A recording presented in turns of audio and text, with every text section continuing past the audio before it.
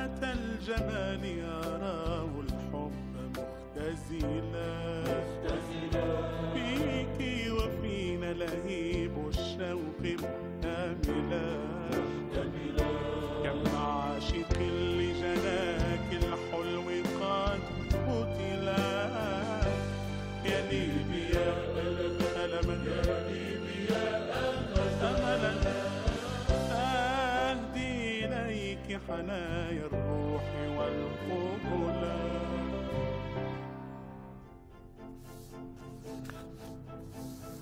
مشاهدينا الكرام أهلا بكم في حلقة جديدة من برنامج موطني نبدوها ديما وزي العادة بأبرز وأهم العناوين.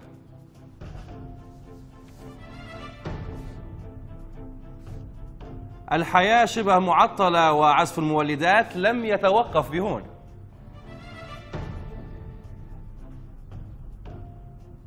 امتحانات شهر للإعلان نتائج الامتحانات الشهادة الإعدادية وامتحانات الثانوية تبدأ غدا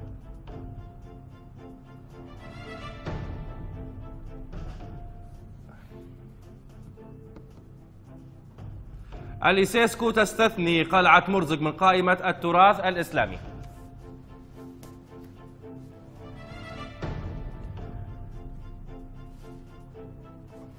وفي قضيتنا لهذا اليوم تبرق بين فكي مياه المجاري والمخلفات النفطية.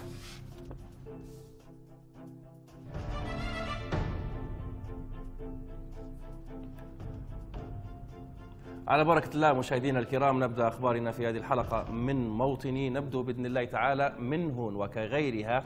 من المدن أيضا الليبية تعاني الجفرة تعطلا شبه كامل في الحياة نتيجة انقطاع الكهرباء لساعات طويلة. هذا الانقطاع تسميه الشركة العامة للكهرباء طرحا للأحمال.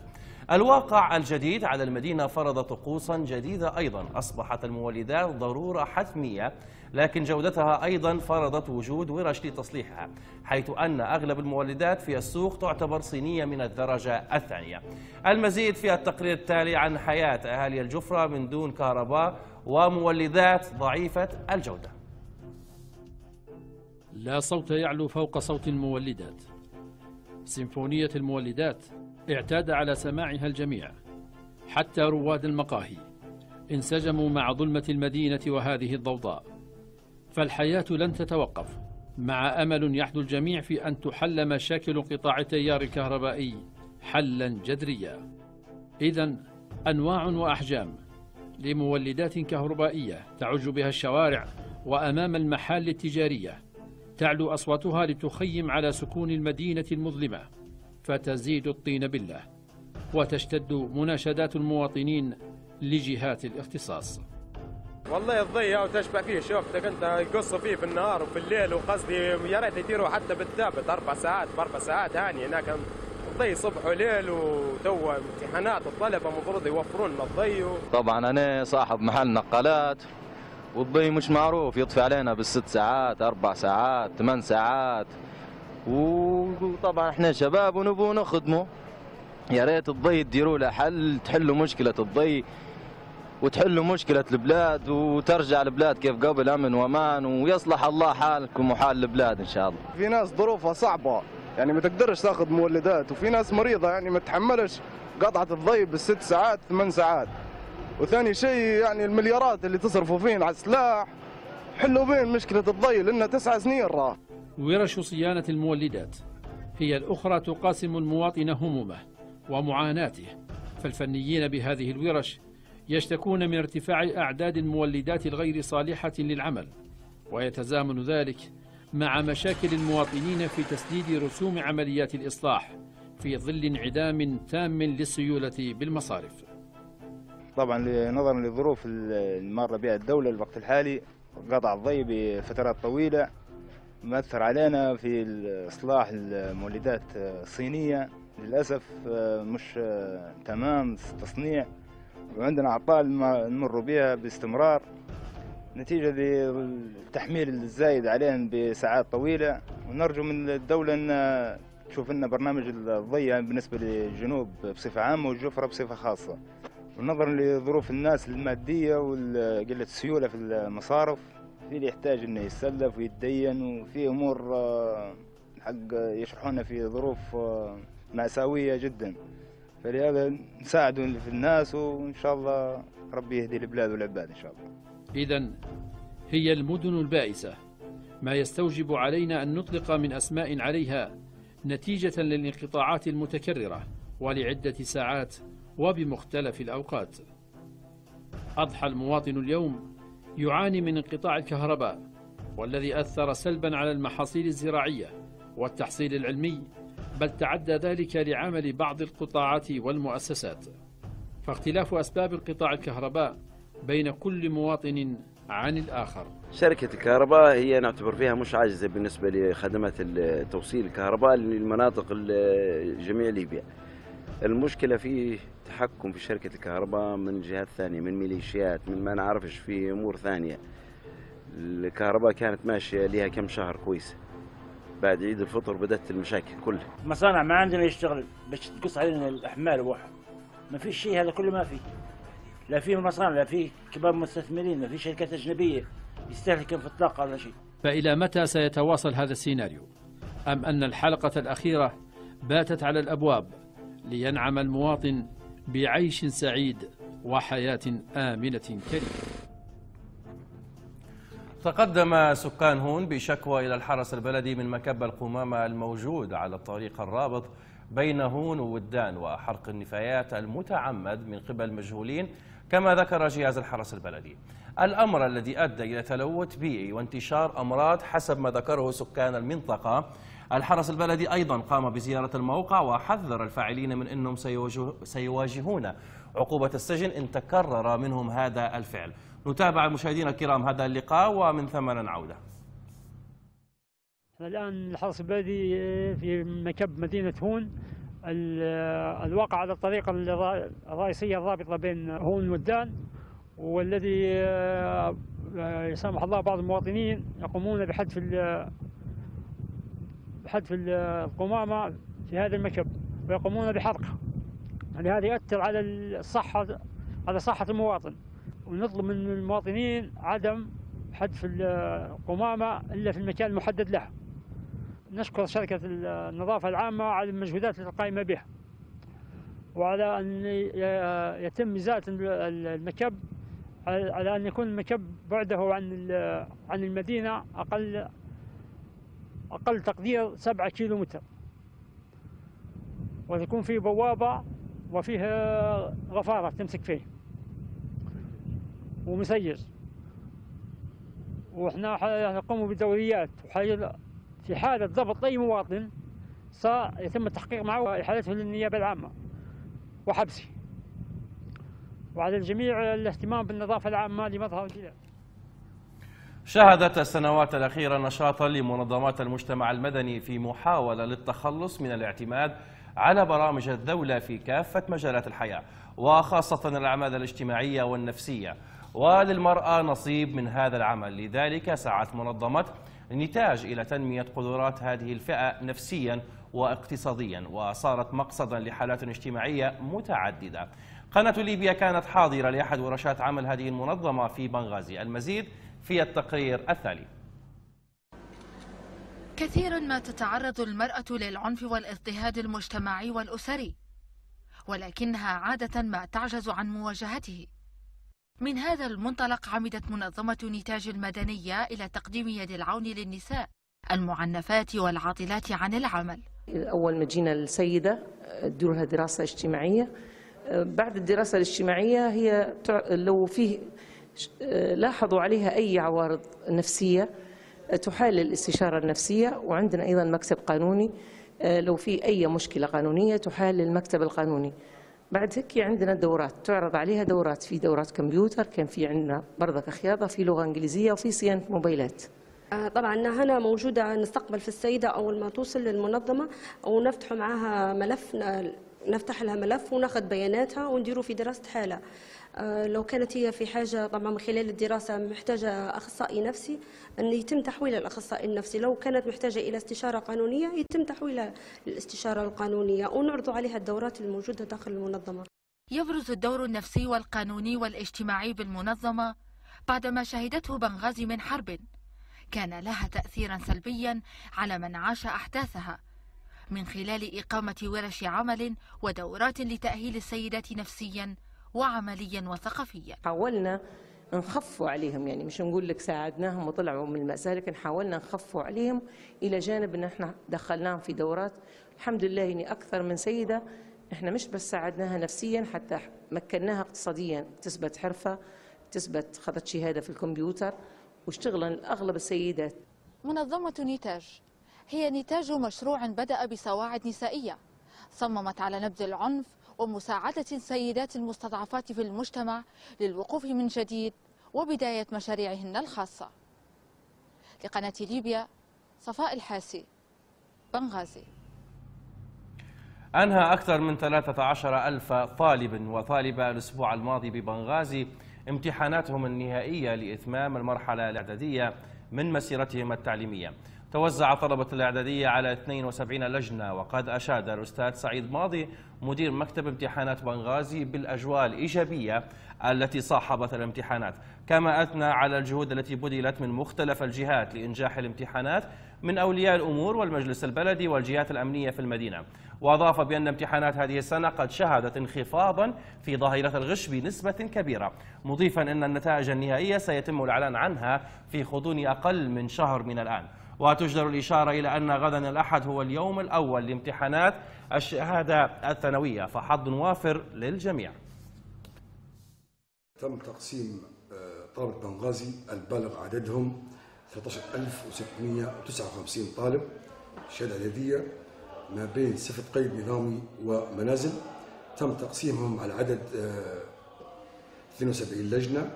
آه، الامتحانات جرت في ظروف آه، طيبة جدا.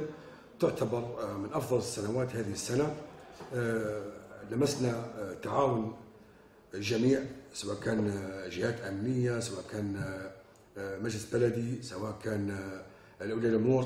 آه، هناك آه، آه، أصبحت آه، ثقافة ال- الإشادة والاهتمام ببناء الوطن والتي تنطلق من التعليم. فكل أمور كانت أمور جيدة جدا. حقيقة آه، من خلال آه، متابعتنا لسير الامتحانات لا توجد هناك آه، أي ملاحظات آه، إلى حد كبير جدا جدا.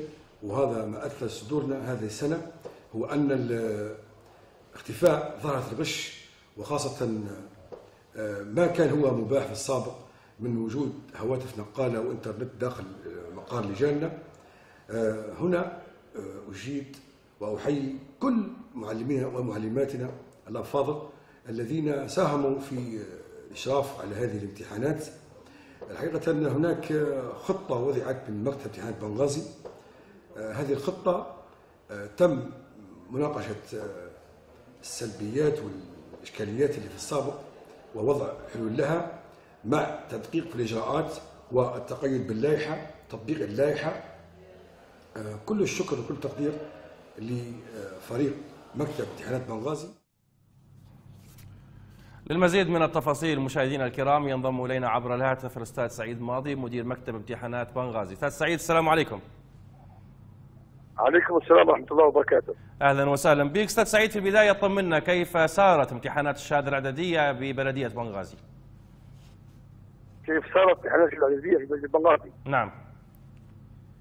بسم الله والصلاة والسلام على رسول الله. بداية نشكر آه، إذاعة ليبيا وطن وبرنامج موطني. آه، لله الحمد صارت الشهادة الإعدادية على أحسن مستوى. آه، كانت فيه انضباطية والتزام باللائحة كان فيه آه، ضبط كبير. آه، الأمور صارت بصفة هي هذا بفضل الله أولا ثم بفضل زملائنا المعلمين والسادة وزراء اللجان والجهات الأمنية في مدينة. نعم. أستاذ سعيد تسمع فيا؟ نعم. نعم. أستاذ سعيد آه، كم كان عدد محاضر الغش التي دونت بشكل رسمي لديكم في امتحانات الشهادة الإعدادية؟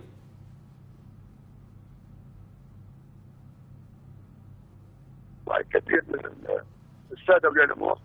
آه، عدد ال- المحاضر غش يومي في غضون آه، من 10 إلى 12 محضر يومي يجينا.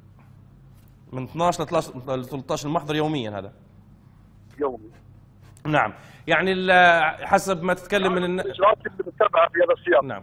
أيوه الإجراء المتبع. يعني الآن ممكن أولياء الأمور يبوا يفهموا. يعني هذا المحضر غش عندما يحال من آه، اللجنة ال- المختصة في المدرسة إليكم ك يعني مكتب امتحانات. الآلية التعامل والإجراء اللي يتخذ في حق هذا الطالب. آه، طبعا نحن آه، هناك نموذج خاص بمحضر الغش نعم. ويرسل إلى مركز الرأي الفرعي نعم. ثم تحال هذه إلى المركز الرئيسي. تتم الامتحان في نهاية غش منها آه، في خلال مده ال-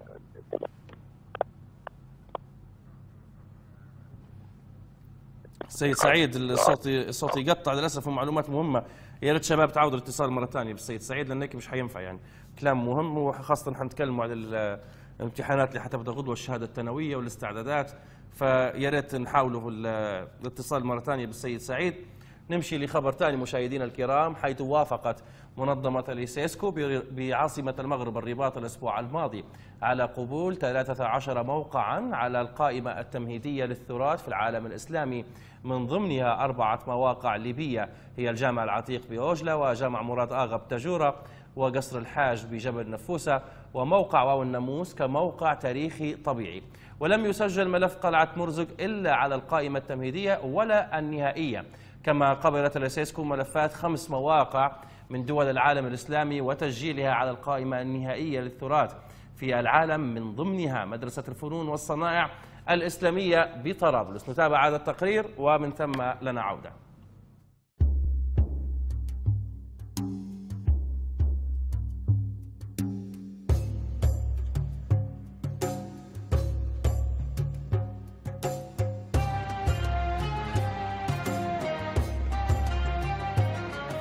لأكثر من 33 عاما غابت ليبيا الغنية بشواهدها على حضارات لا يزال أثرها ينطق كل يوم بأزمنة الإغريق الرومان الجرمنتيين ودروب قوافل الصحراويين والعابرين البحر إليها. غابت عن تسجيل مواقع لها على قوائم التراث الثقافي والطبيعي. إلا أن الاجتماع الثامن للجنة التراث في العالم الإسلامي الذي عقد الأسبوع الماضي في رباط المغرب أدخل ليبيا مرة أخرى على لائحة التراث في قائمتيه النهائية والتمهيدية.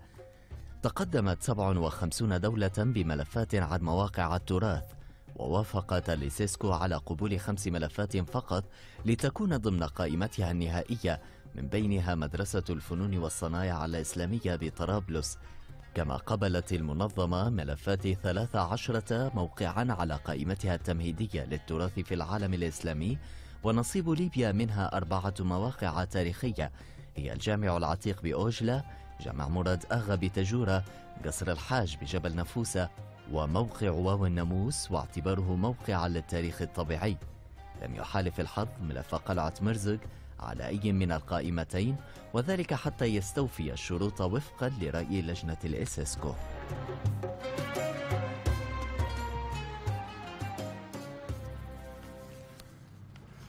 بخصوص هذا الخبر مشاهدينا الكرام خلونا نستقبل الأستاذ رمضان الشيباني خبير الأثار. أستاذ رمضان كيف حالك؟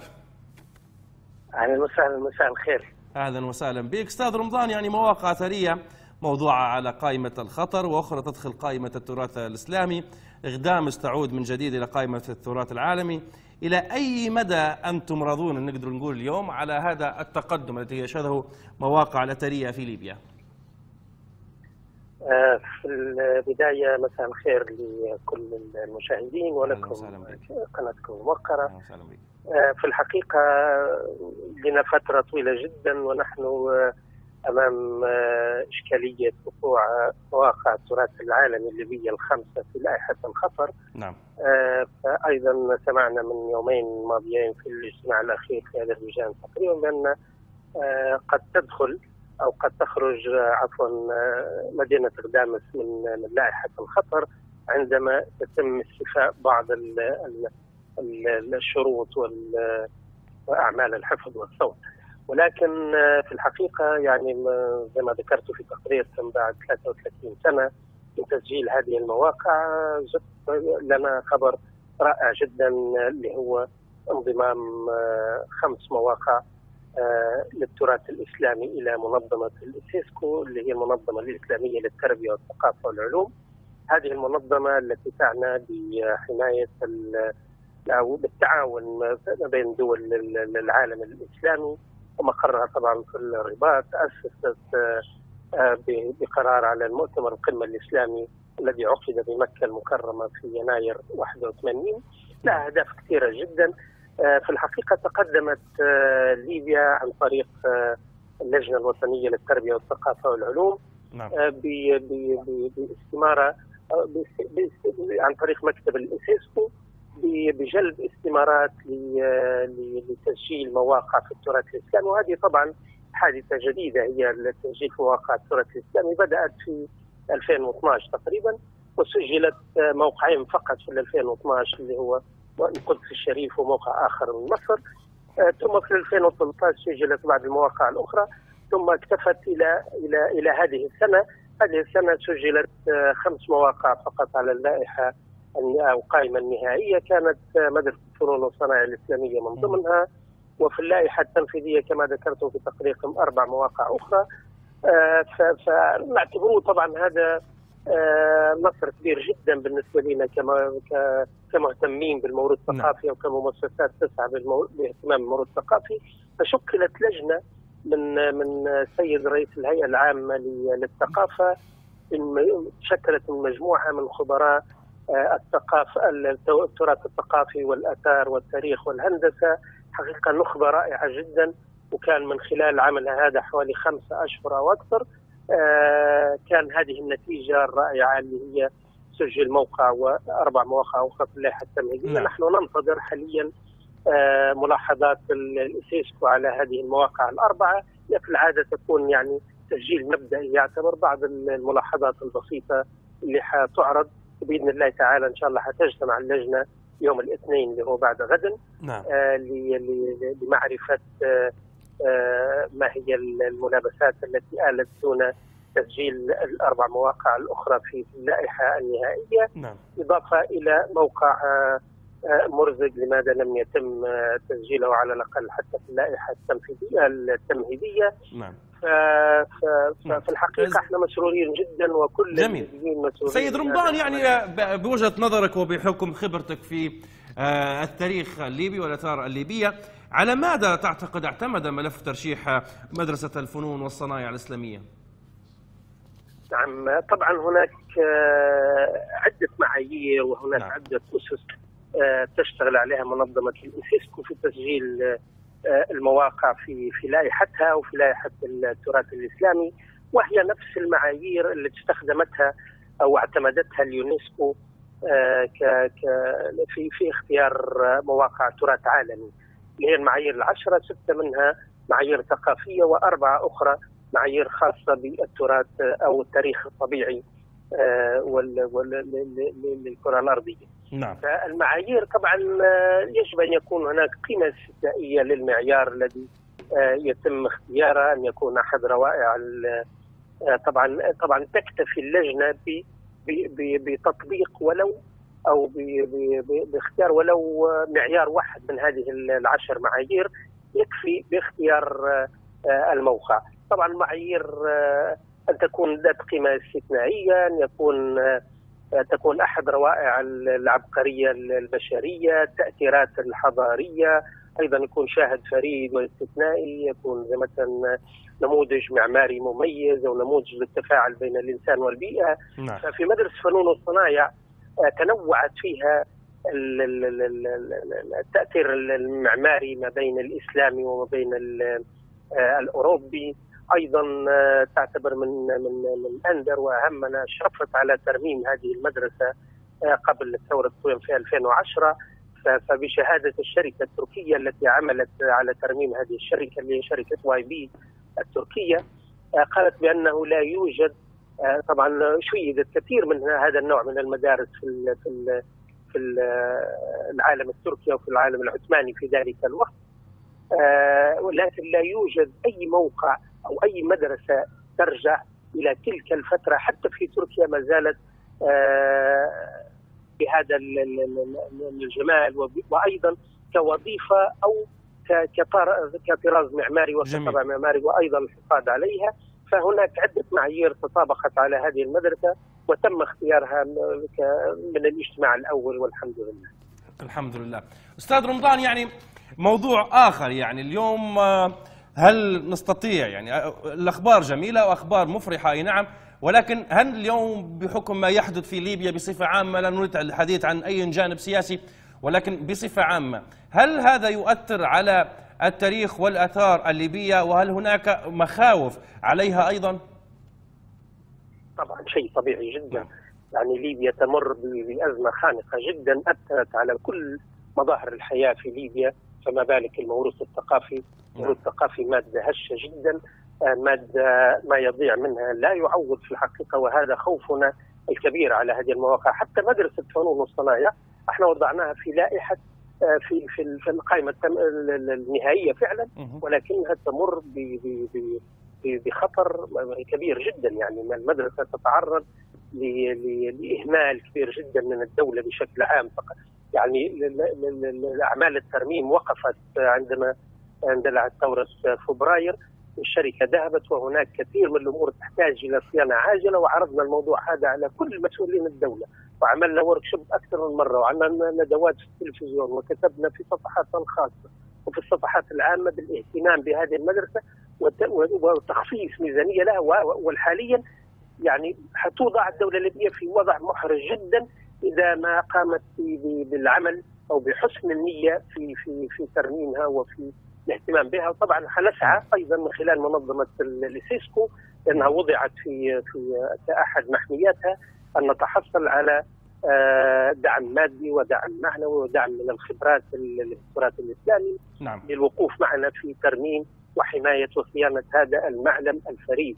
فالتراث الليبي بشكل عام يمر بوضع آه، محرج جدا في الحقيقة آه، في في كل مواقعنا الإسلامية والكلاسيكية اللي هي الروماني والإغريقي والبيزنطي وقبل التاريخ و- و- وكله و- و- وهناك يعني عوامل كثيرة جدا التذبذب الامني الانقسام السياسي أن لدينا مصلحتي آثار واحدة في بنغازي واحدة في طرابلس. فليس هناك أي صلة آه، بين هذه المصلحتين إلا على على على على الصعيد الشخصي ما بين أشخاص فقط. نعم. فهذه إشكالية كبيرة جدا يعني يجب توحيد مؤسسات الدولة. يعني هناك انقسامات فما دخل مؤسسة الأثار؟ مؤسسة تعنى بحماية الموروث الثقافي الليبي بشكل عام. بكل التوجهات اللي موجودة فيجب أن لا تنقسم هذه المؤسسات لانها لأنها فعلا هي الحامية للهوية الليبية هي الحامية للهوية الإسلامية هي الحاوية الهوية ال- التي تجمع كل ال- ال- ال- الليبيين. ففي الحقيقة الوضع آه، الراهن والوضع اللي موجود والحروب التي اندلعت في كل مكان في ليبيا هي تأثيرها سلبي جدا آه، في في في, نعم. في على الموروث الثقافي نعم. الإنساني من جميع النواحي.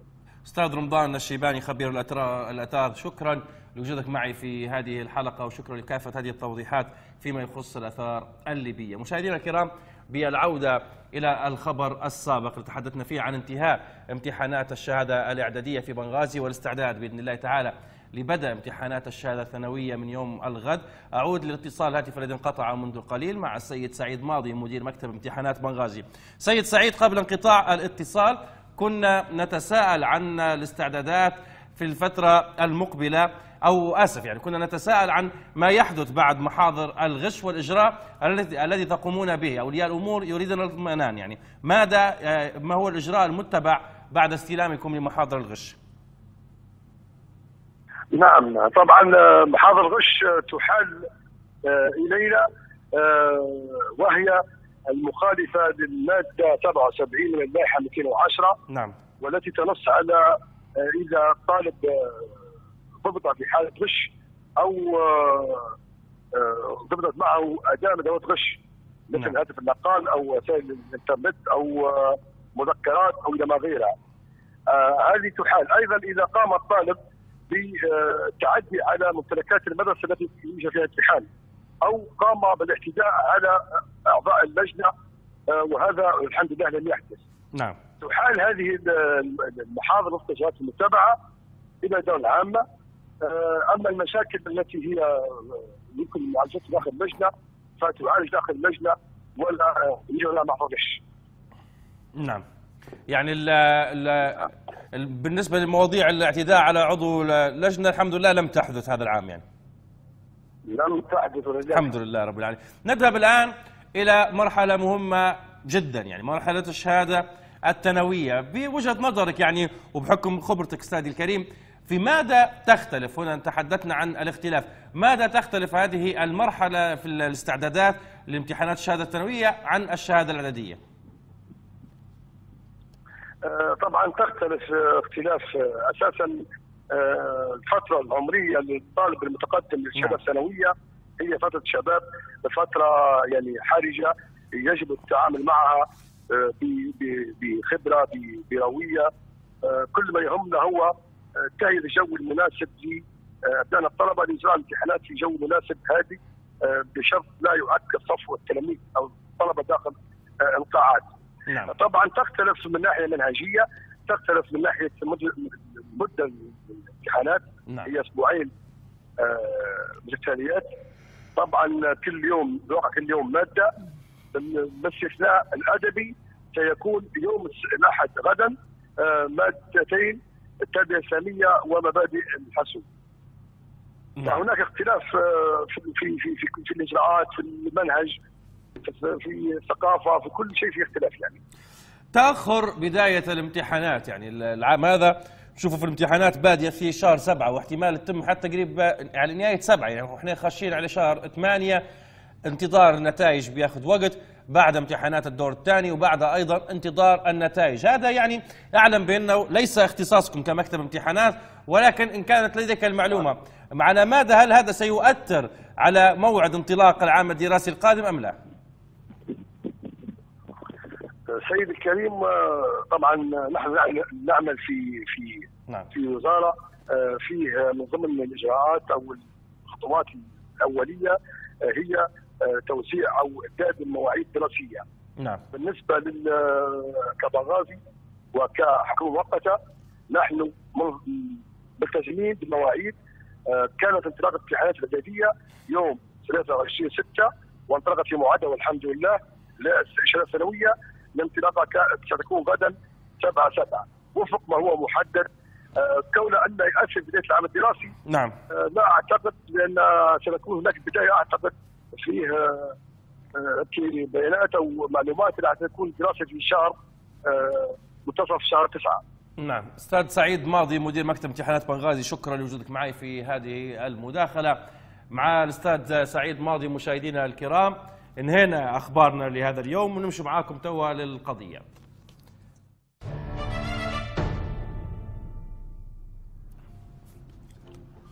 البحر ملوث بجميع انواع الملوثات هذا ليس كلامنا وانما هي دراسات علمية قالت وتقول أن بحر خليج طبرق ملوث بمعادن ثقيلة وبنسب كبيرة مخلفات طبيعية وأخرى صناعية ومياه صرف صحي غير معالجة.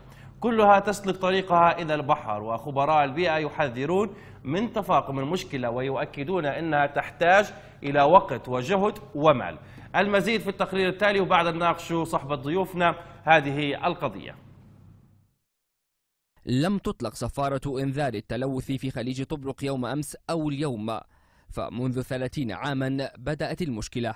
وأوضحت الدراسات والأبحاث أن مياه شواطئ طبرق تعاني جميع أنواع التلوث النفطي والتجاري بالإضافة إلى مخلفات محطة تنقية المياه التي تقع على بعد عشرات الأمتار من شركتي النفط وقرب مصب كبير لمياه الصرف الصحي.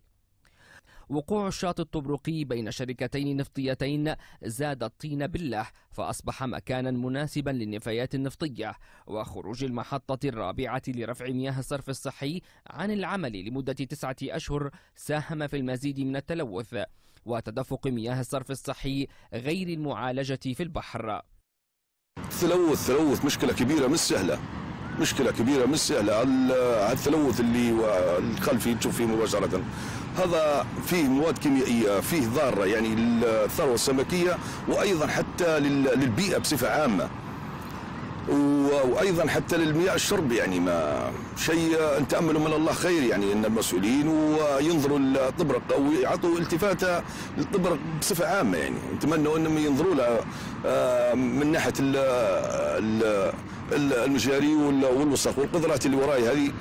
نتمنى انها ينظروا لها حل ويشوفوا فيها أي آه، سبل يعني إنها تنحل هالمشكلة بإذن الله يعني يوما ما كان هذا الخليج يعج بالمصطفين وأهل مدينة طبرق كلهم يقضون أجمل الأوقات في هذا المنطقة حتى أيام الاحتلال الإنجليزي والإيطالي لمدينة طبرق كان من أفضل الخلجان.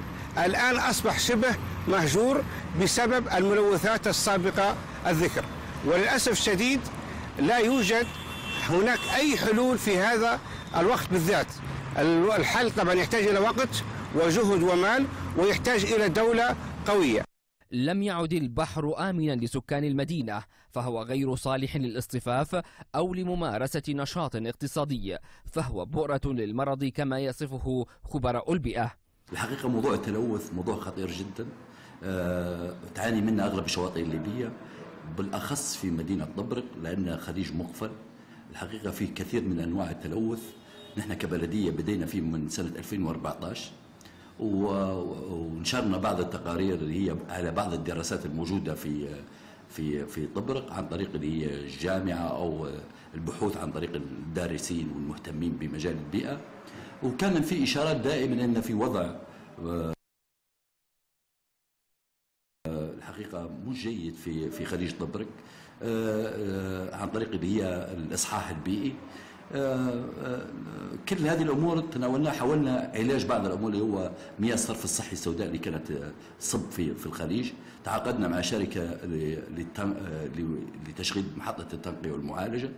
آه، خفت نسبة التلوث خاصة في الأمونيا وال- والأشياء اللي هي مخلفات اللي الصرف الصحي اللي هو اللي كان يصب في البحر. لكن الحقيقة في المدة الأخيرة في دراسة منشورة في مجلة أمريكية اسمها BG Science دراسة آه، الحقيقة خطيرة ونحن الآن بصدد مراجعة هذه الدراسة والتأكد من نتائجها. الخليج الذي كان مكانا مكتظا بالمصطافين والهاوين لصيد السمك أصبح اليوم مهجورا في إعلان واضح وصريح أنه مكان غير مناسب لشيء في انتظار الحل. والله المشكلة معاش بتنحل مشكلة آه، طبرق ومياه الصرف الصحي وأيضا آه، مياه التحلية. يعني في خلال موطن إحنا تكلمنا عليه من خلال هالخمس سنوات أكثر من خمس ست مرات. آه، عندي ما نقول في هذا الكلام لكن آه، يعني انحضر الماء بطل التيمم معنا الأستاذ طارق الصافي مدير شركة المياه والصرف الصحي السابق في طبرق وعاصر هذا الملف جيدا. وكان ضيفنا في حلقات سابقة وعلى دراية بهذا الملف جيدا ناخذ منا المعلومة. أستاذ طارق السلام عليكم.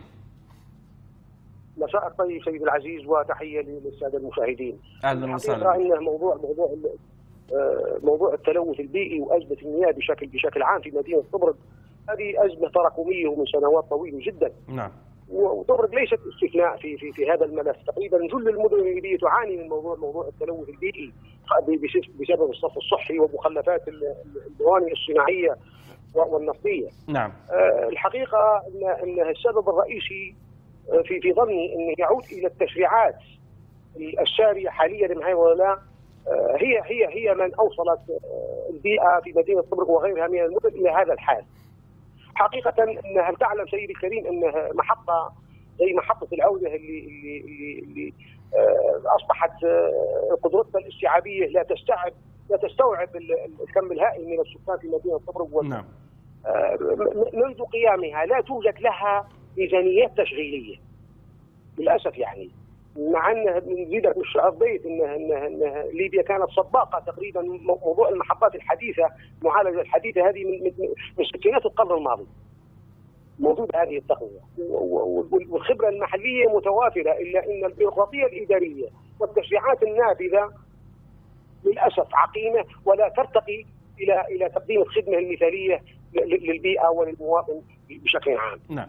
أستاذ طارق في الوقت اللي كنت فيه حضرتك يعني مدير لشركة المياه والصرف الصحي في ذلك الوقت يعني كانت هناك اتصالات ما بين الوفاق تدعم والمؤقتة تدعم وسمعنا بأن عميد بلدية طبرق وكان ضيفنا أيضا في أحد الحلقات وممكن أنت كنت في نفس الحلقة قال بأن هذه المشكلة انتهت وبدأوا فعليا في العمل على هذه ال- المشكلة لإنهائها قريبا. هذا الكلام كان أكثر من سنة وما زالت المشكلة قاعدة. ليش هذه الوعود لم تنفذ؟ نعم نعم. أو زي ما قلت لك الس- السبب البيروقراطيه الاداريه نعم. بالرغم انها إنها وظفت في الفترة الأخيرة من كلا الحكومتين مبالغ لحل هذه الاشكاليات إلا إنها لم توظف بالشكل العلمي الصحيح. مجال الصف الصحي بالمناسبة أنا نحب نوجه تحية لل- لل- لل- للسادة زملائي في شركة المياه من من الكفاءات اللي اللي يعول عليها وحقيقه من, سنوات طوال وهم يعملوا بحلول تلفيقيه وفق ما هو متاح له نعم. وفق المتاح ال- ال- ال- الحد الأدنى جدا جدا من الإمكانيات ويقدروا ان يتجاوزوا الكثير من المراحل.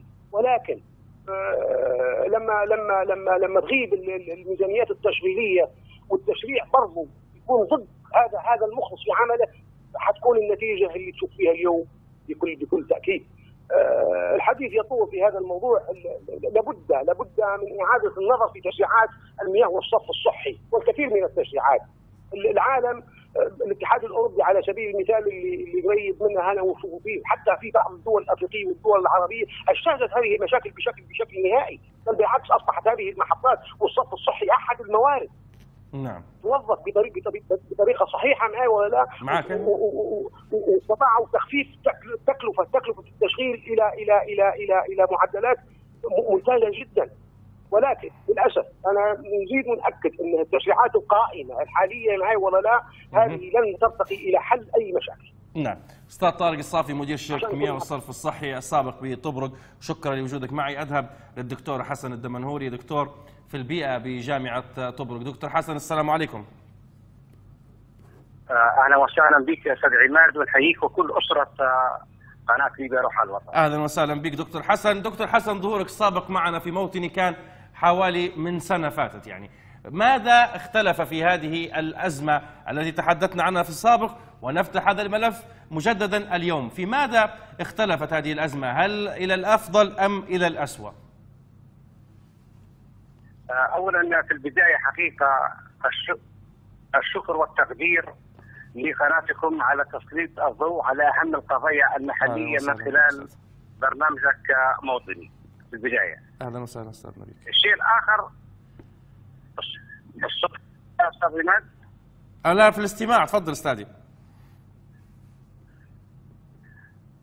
آه، بخصوص هذه الأزمة طبعا كل المدن الليبية تعاني من العديد من المشاكل البيئية سواء مشكلة في الصرف الصحي أو مشكلة القمامه أو مشكلة ال- التلوث. طبرق طبعا تعاني من مشاكل كثيرة ولعل اهمها واخطرها مشكلة القمامه ومشكلة التخلص من مياه الصرف الصحي. هذه المشكلة ليست وليد اللحظة أو الساعة بل هي لها أكثر من 30 سنة. متمثلة في الاتي خليج طبرق يعاني من صب مكب أو مكب لمياه الصرف الصحي يعاني من صرف المشتقات النفطيه يعاني من مخرجات محطة التحليه يعاني من غسل وتنظيف السفن القادمة إلى هذه المدينة. طبعا هذه المشكلة قائمة وتحتاج زي ما حكيت في البداية إلى وقت وجهد ومال للأسف في غياب الدولة وأيضا في إهمال لقضايا البيئة منذ أكثر من 30 سنة أصبحت مدينة طبرق ومشكلة الصرف الصحي متفاقمة بل كل يوم تزداد خطورة ولعل دراسات الماجستير والدكتوراه في هذا الخليج نعم أثبتت وتثبت كل يوم إن المواد الكيماوية وفضلات الصرف الصحي واخطارها كل يوم في ازدياد مستمر. دكتور حسن أعلم بأنك دكتور في البيئة وليس لك أي علاقة بالشأن السياسي أو الترتيبات المالية داخل البلدية أو داخل الشركة العامة أو داخل الوزارات ولكن هناك مبالغ فعلا صرفت من قبل الحكومة المؤقتة ومن قبل حكومة الوفاق بخصوص شركة المياه والصرف الصحي ولإنهاء هذه الأزمة أين ذهبت هذه الأموال؟ في ماذا تم آه، وضع هذه الأموال؟ لماذا لم تنهي هذه الأزمة؟ هل تبعت بصفتك يعني كمتخصص في هذا الموضوع أين ذهبت هذه الأموال؟